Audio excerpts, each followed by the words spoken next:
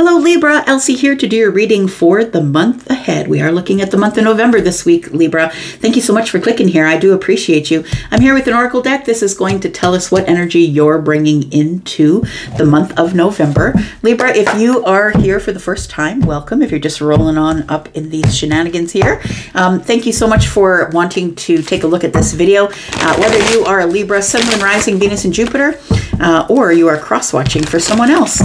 Let's um, find out what's going on for you, Libra. Look, there is a subscription button in the bottom right hand corner of this box where I live. If you're interested in joining this tribe, which is growing quite well, Libra, you're doing a beautiful job. If you are the ride or die, thank you so much for all the ways you love on this channel and the ways that you are uh, great with the views and thumbs up. It's building this tribe. Let's talk about Libra. Tell me about Libra. What is the energy that Libra is bringing into the month of November? We have overcome any obstacles. I kind of love that. I feel like somebody here has been dealing in maybe, and I, think I said this to you before, Libra, throughout the last couple of weeks, that maybe yeah, you are coming out of some sort of situation of lack or feeling like it, things weren't working out for you or feeling like why can't it be my turn this time? Like it feels like that sort of energy. But you're going to be overcoming a lot of those obstacles. I think your third eye is open in the month of november. I want to say the month of november scorpio offers us you know a chance to get in touch with ourselves emotionally get in touch with our psychic intuition our psychic energy right? Going diving really deep that's sort of what the energy is and uh, we are already in Scorpio energy. Um, so, overcoming any obstacles, I feel like this is going to be a month of you kind of checking things off the list, things that you have have been sort of hanging over you for a while, and um, I feel like it's. Uh, it's um, going to be a month of you uh, overcoming things that have sort of been making you feel a little bit in lack. Card number 50, right, is a five. We do have uh, the starfish spirit. It says open to infinite possibilities. Um, we have uh, card number 14. It is about balance, right? And uh, we've got 59, which is a 14. And um, 14 is temperance. I feel like this month is going to be a month of balance for you, infinite possibilities, and overcoming some things that I feel that you have been, excuse me, things that you that have been um, I'm to say irking you or irritating you. It's like a little gnat. It's like you're you're doing this right. I feel like it's whatever things that are are at, coming at you this month. I feel like you're finally just to take care of that thing once and for all. All right. First card I'm going to put down with uh, the tarot here. Tell me about Libra, Sun, Moon, Rising, Venus, and Jupiter. First card putting down with the tarot uh, is what are you supposed to be leaving behind? What is it that you are not supposed to bring with you into November? What is uh, Libra leaving behind in the month of November? Tell me about Libra. We've got uh, the Ten of Swords. So, Libra, I feel like what you're leaving behind is anything that I feel like this is telling me that you're letting a lot of stuff go mentally I want to say that you've been carrying around some things that you've been thinking and overthinking. And I don't think this is anything that anyone has done to you, but I feel like the pain of being in the 10 of swords and not being able to let it go, it's that place where you're in the overthink tank and you just can't seem to let it go because eight swords is where we can't get out of right it's like the prison of the mind and then the two swords is um is the block so it feels like the eight and the two coming together are saying it's time for you to release all of these things here the lack, the burden, the things that are not serving you. It's time for you to release any of it. Doesn't matter. It's nothing specific. I would say anything that is causing you to feel in lack, that's what you need to be leaving in the past. Um, and uh, what should your inward focus be for the month of November, Libra? Should your inward focus be? Oh, I love that your heart space. Yeah, loving the self, your inward focus. You're turning the love on you instead of making sure that everyone around you feels loved. I think it's time for you to turn the focus inward here. Um, what is the outward focus for the month of November? We do have the Four of Wands. So people are going to see you as being someone who is quite stable in a stable home with a stable family or a stable relationship. I feel like this the fact that you're letting things go, just relieving yourself of things that that maybe were on your mind and you don't really need to bring them into the new cycle. The new cycle is November 1st, by the way. It is November 1st is a new moon in Scorpio. So it is a new cycle. New moons are always about new doors opening. And I feel like the door that's opening for you is this beautiful self love um, that you, instead of, of offering cups to other people, that you're keeping them for yourselves, which is really telling me that you're your home, whether you live alone or with family or a spouse or children, that it's um, it's pouring out over onto your home. Once you let these things go, you have stability of the heart space, and I think that's kind of lovely. Tell me what uh, what uh, Libra needs to reevaluate in the month of November. What's the reevaluation look like for for Libra?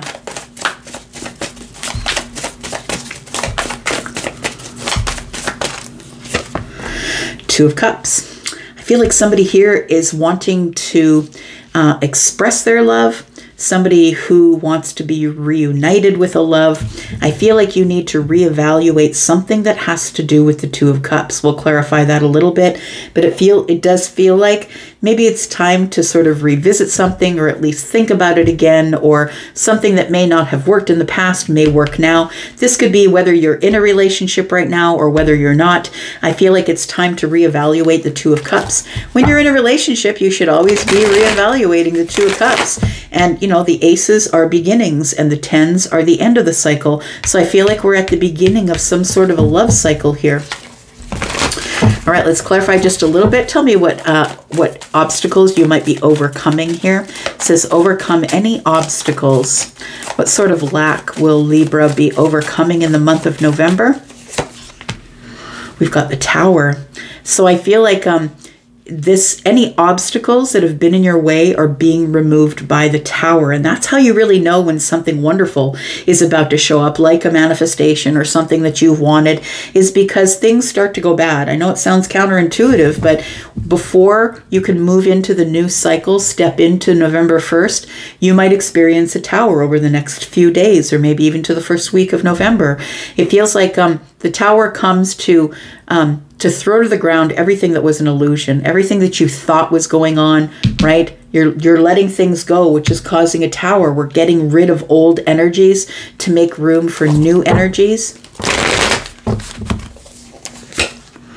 We've got the 5 of wands and we've got the Knight of Wands. So we do have six wands here. I feel like there is um, there is victory over these obstacles that you've been dealing with. We do have a five of wands, which is a little bit of lack energy, but we've got two fives here, right? The five, five zero on the card, and uh, we do have a five of wands. For me, when there's more than one five in a reading, it's all about quick change. So I do believe at the beginning of the month, you have some sort of a quick change where you're able to release some things mentally, and it's going to cause you to move forward um, with force. I'm going to say with the Knight of Wands, with passion, with force. I need to go out there and have fun and do the things I want to do. This person is looking like they're having a lot of fun. I'm just saying, even the horse is having fun. But I feel like once all of this energy is cleared away for you, Libra, all of this energy that you really don't need, the competition, the, you know, striving to be better, and I feel like I'm not good enough for people. Like it feels like that kind of energy. It feels like you're finally going to be able to release all of that because the tower is here. And I don't think it's going to be a devastating tower. I feel almost it's a release of the mind. like the tower sh showing up so you can release things that are on your mind. Some For some of you, it's an old lover. Some of you, it is um, somebody in the past that maybe you were very very, um, very emotionally connected to, like psychically connected to. I feel like you're, you know, this this Seven of Wands is, is the only sort of depiction where I see somebody as being completely unbothered. The pink bubble is significant. I feel like you are protecting yourself from people who would try and um, give you unsolicited advice, for people that would try and bother you. I feel like you're sort of in an unbothered energy in the month of November. It does feel like with this Ten of Swords present here that you are releasing um, old attachments to people that were emotionally draining for you. We do have the lovers here. I think it's a choice that you're releasing emotional attachments that were super draining for you and that you are now, you know, this person is on the pillow. They've got themselves, you know, their solar plexus chakra is, you know, is giving them energy to move ahead, uh, feeling comfortable, feeling um, loved, feeling calm, feeling um, in your meditation practice maybe might might get a little bit better. The meditation game might might take an upswing in the month of November. Um, tell me about this inward focus, about the Ace of Cups. I really love that you got the Ace of Cups in the inward focus. We've got the Seven of Swords, we've got the King of Wands, and we've got the um, the world card in the reverse. I feel like the Ace of Cups being the inward energy, I feel it's almost like a forgiveness of something. It feels like somebody here, it's almost like you feel like you allowed someone here to get one over on you or somebody who I feel that you were very attracted to that you still feel like a tug or a pull toward. Um, the world card in the reverse tells me that there's a door here that needs to be closed that you have not quite closed just yet. And I think we're talking about a door that maybe leads to the King of Wands. It feels like there is somebody here who was less than honest with you, truthful with you. This may be somebody who you were attached to in the past romantically, um, but it feels like with the Seven of Swords that this person you've realized was not very truthful with you. It's time for you to close that door. And I feel like the only way you're going to be able to close the door is by self love. I feel like the Ace of Cups is for you. You're no longer giving it to the King of Wands. I feel like you're giving it to yourself. And I feel like this if this is a person for you, it feels like there's somebody, Aries, Sagittarius, Leo, uh, maybe Scorpio, Taurus, Aquarius, or Leo, somebody here was not truthful with you. I think that maybe you found out, and I feel that's why you go inward with the Ace of Cups. You're like, you know what? I'm just not giving people my energy anymore. If they're just going to abuse the privilege of having my love energy, I'm just not going to give it to them anymore. I do really do feel that you need to work on closing this door, though, or somebody's apt to walk through again, but I think you're going to release them here. It's just time to close the door and end the chapter with them. And that can be a little bit harder than it sounds, right? Your external energy is the Four of Wands. People are going to see you as someone who's happy and celebrating and stable. And um, we've got the Hanged Man energy. We've got the Four of Swords, both about um, healing and being stable, sturdy. Um, it feels like with the Four of Wands, that's stability. The Four of Swords is the same. The Four of Swords is telling me that you're going to be, people are going to be viewing you as someone who has really got it together, very stable in your mental health, someone who sort of holds back and um, maybe gets a perspective before I say anything. Uh, Four of Swords is also about intermittent communication, a little bit here, a little bit there. I'm not sort of going to be telling everybody my plans. But the Hanged Man energy is significant because I feel like where you're hanging out is at your home. I want to say people can find you there.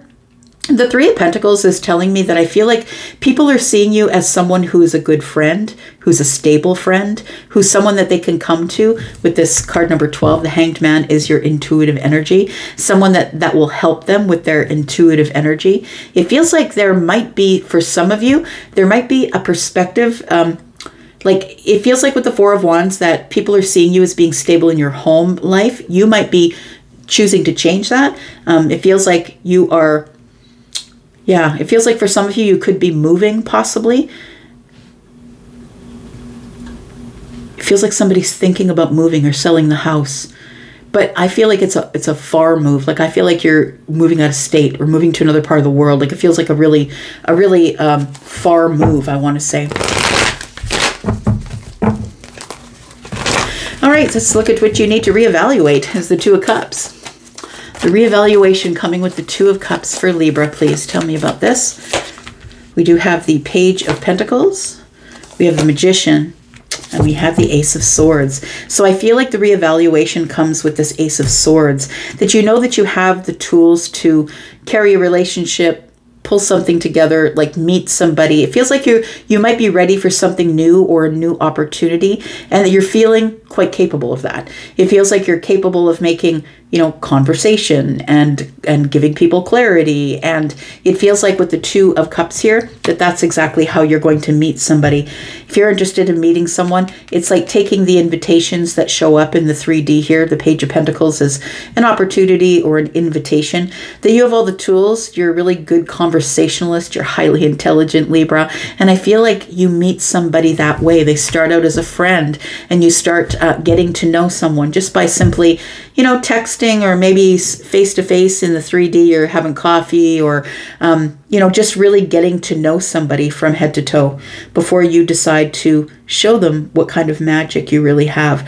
I feel like you are manifesting love but I feel like you're manifesting a love with a lot of clarity, truth, honesty, and very solid and grounded energy. Uh, oh, look at that. We got the Ten of Cups. I feel like whatever starts here, whatever this reevaluation is, I feel it comes to this comes to a place where you've decided that you want to be ultimately happy, possibly in a relationship. But in order to do that, you're going to have to leave this Nine of Wands behind. It's time to come out from behind the fear wall here and disconnect from that energy. Um, before you can go back to this. It almost feels like a coming a coming back round. It's like a it's like you're going to be closing this door here in the month of November, I feel, with the world. And when you do, that's when the new door opens. But the old door must be closed because you can't live both in the past and the present and the future at the same time. You've got to let go of the past in order to be in the present so you can you can think about the future. So it feels like you do have to disconnect from something whilst going back round again. I feel like for some of you that your financial stuff is going to look be really good. In the month of November, finances are going to be good, stability is going to be good, opportunity is going to be good. It's um it's uh, cyclical energy, right? This is Jupiter energy. So the Wheel of Fortune is telling me you're about to expand financially in your home. I was saying somebody might be moving a home and making a really big move. It could be that. You might be deciding to do that at this time. All right, I'm going to go for now. Thank you so much for being here and watching, Libra. I do appreciate you. I'm going to go for now, but I'll be back, of course, because I'm always back. Love you guys. I'm out. Bye bye.